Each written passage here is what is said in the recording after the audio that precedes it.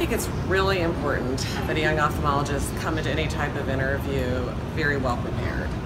So my main clue is get on the web, Google the people you're going to be interviewing, Google the place.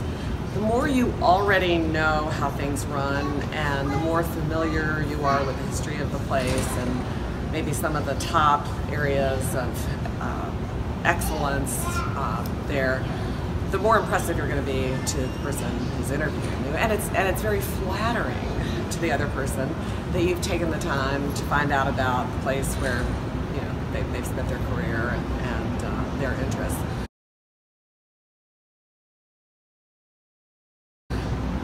Having said that, the next step, I think, is to try to get that person who's in a position of authority on your team.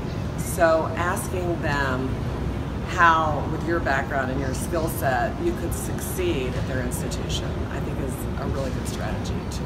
So saying, what would success like look like for me uh, here at Wills Eye Hospital? Or how could I succeed with my skill set at Wills Eye Hospital?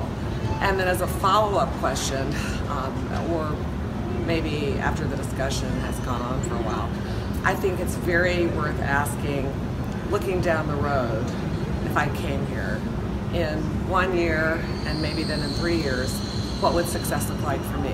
What would you like to see me have done?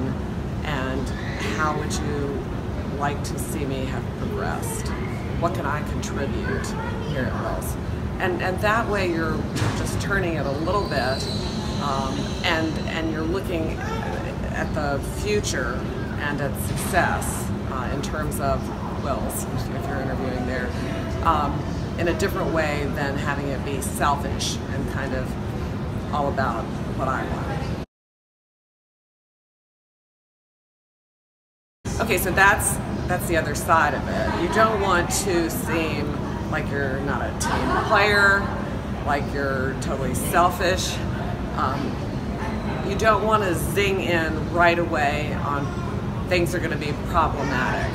Um, I think, um, for example, immediately focusing on vacation and leave and even even pregnancy and family things is probably a mistake because it, it, it, gives the erroneous impression that those are at the top of your list. And those are very selfish me it's all about me things. It's not about contributing to the institute or to the hospital or, or to the program so um, I you know as a parent of millennials myself I, I, I know that as parents we've we've raised everybody to think about themselves um, but it's important in the interview to be, you, you, you want to get all those issues straightened out. Of course, of course you do. They're very, very important lifestyle issues, work-life balance issues. But coming out of the gate, you want to be talking about the work part and what you're going to contribute.